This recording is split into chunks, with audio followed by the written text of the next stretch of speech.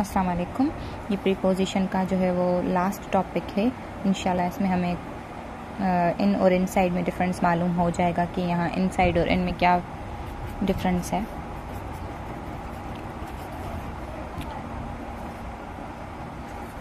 ये दोनों मे के वर्ड्स होते हैं इन और इन साइड इसमें विजन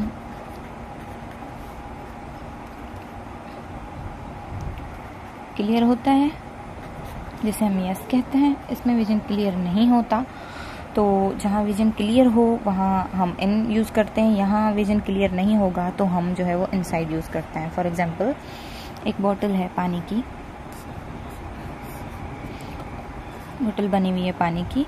तो अगर यहाँ हमें बॉटल अगर ट्रांसपेरेंट है, बिल्कुल शो हो रही है विजन क्लियर है तो हम यूज़ करेंगे इन द बॉटल ठीक है अगर विजन क्लियर नहीं होगा फॉर एग्ज़ाम्पल मैच स्टिक्स हैं।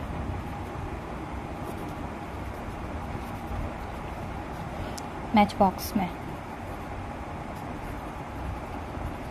वहाँ जो है वो हमें मालूम नहीं होता है कि मैच बॉक्स में मैच स्टिक्स कौन सी हैं, कितनी हैं। विजन क्लियर नहीं होगा तो हम इनसाइड यूज़ करेंगे।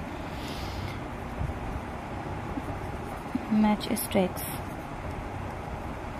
are dash, the match box. Match sticks are dash in the box match box. हमें ये नहीं मालूम विजन क्लियर नहीं है तो हम यहाँ पे क्या यूज़ करेंगे?